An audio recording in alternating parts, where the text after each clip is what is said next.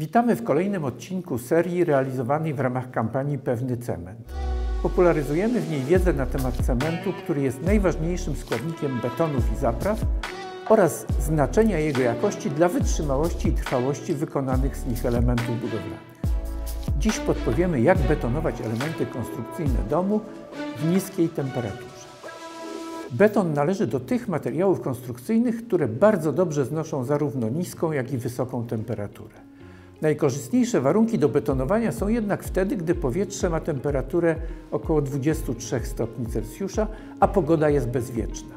W niższej temperaturze mieszanka betonowa wiąże wolniej, a w wyższej szybciej. Nie zaleca się jednak betonowania w temperaturze przekraczającej 35 stopni. Można betonować, jeśli w ciągu doby średnia temperatura powietrza nie przekracza 5 stopni Celsjusza, choć w takich warunkach beton twardnieje już bardzo wolno. Jeśli do mieszanki betonowej zostaną dodane chemiczne domieszki przeciwmrozowe, to pracę można prowadzić nawet w temperaturze minus 5 stopni, a nawet minus 10.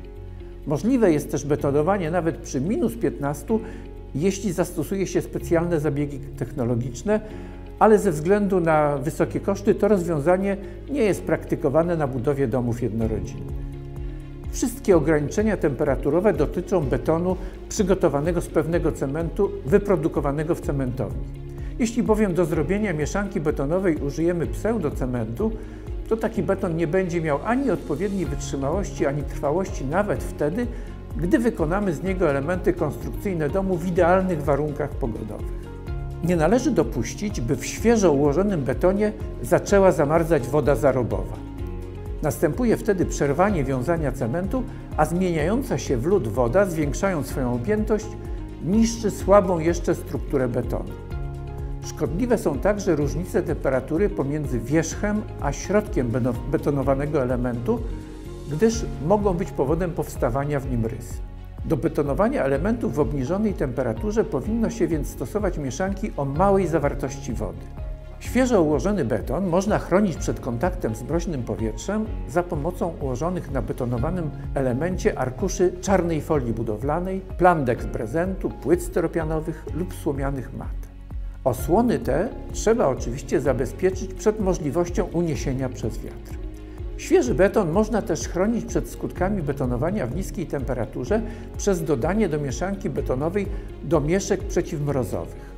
Powodują one obniżenie temperatury jego zamarzania oraz przyspieszają wiązanie. Pozwalają one także na zmniejszenie od 10 do 20% ilości wody zarobowej dodawanej do mieszanki betonowej, co korzystnie wpływa na szczelność, wytrzymałość i mrozoodporność betonu.